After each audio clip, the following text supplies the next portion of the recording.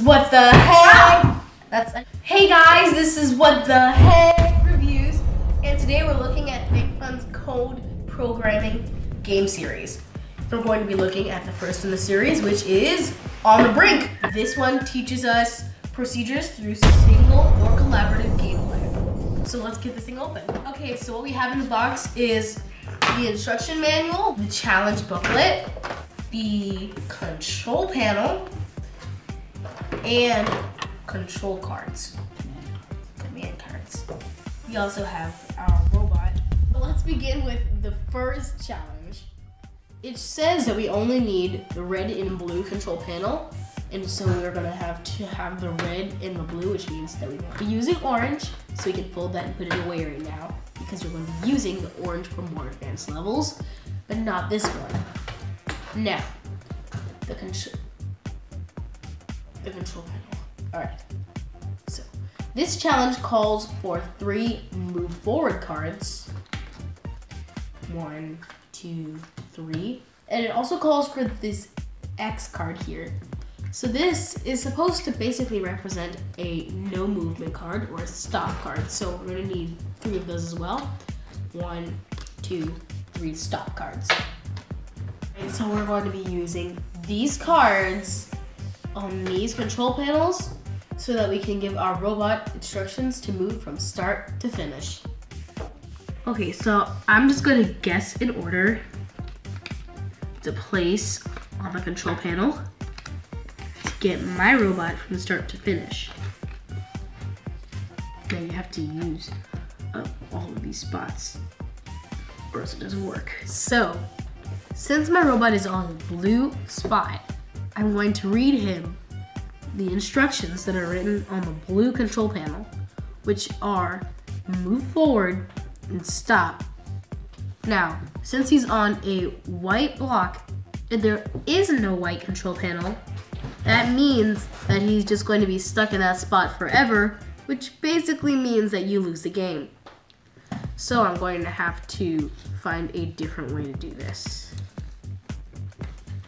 Okay, so I've made another guess and let's see if this can get my robot from start to finish. So, since he's on a blue spot, I have to read the instructions that are on the blue control panel, which are move forward and then move forward. Now that he's on a red spot, he has to follow the instructions on the red panel. And do not forget, you have to read both instructions that are on the control panel. You cannot only read one. So it'd be move forward stop, move forward, stop, move forward, stop. Now he's at the finish, which means that we've won. We're gonna try another challenge with two players, which actually makes it a lot more fun.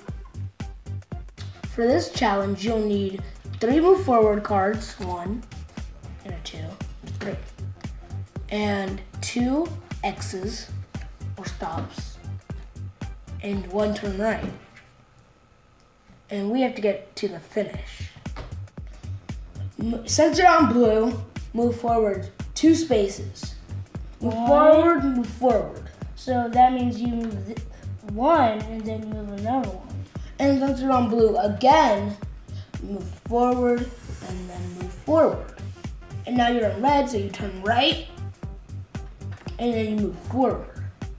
So then I'm back on blue. So now you move forward, forward twice, once, and then you move forward again. And now we're at finish. So we can complete that level. Now was that so hard? It didn't. No. You can go whichever favorite board you want to go on.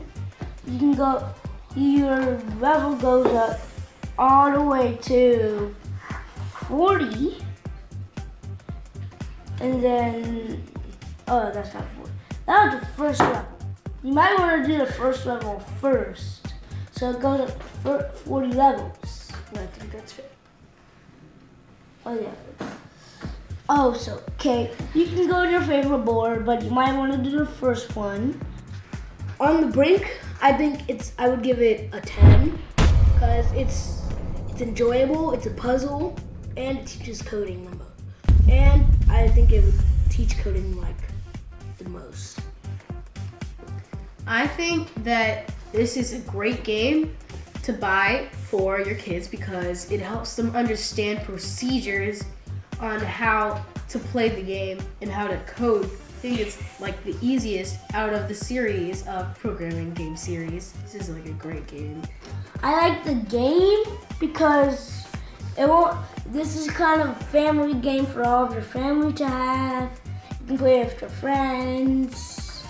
You usually you don't know how to get frustrated.